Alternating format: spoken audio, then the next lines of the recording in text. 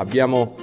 introdotto un eh, formato nuovo che è quello eh, dell'incontro tra gli imprenditori e gli ambasciatori e ieri nelle sale della Farnesina si sono sviluppati numerosissimi incontri di imprese nazionali che hanno voglia di internazionalizzarsi ed andare all'estero e hanno trovato nella interlocuzione con gli ambasciatori esattamente quel canale istituzionale per loro indispensabile.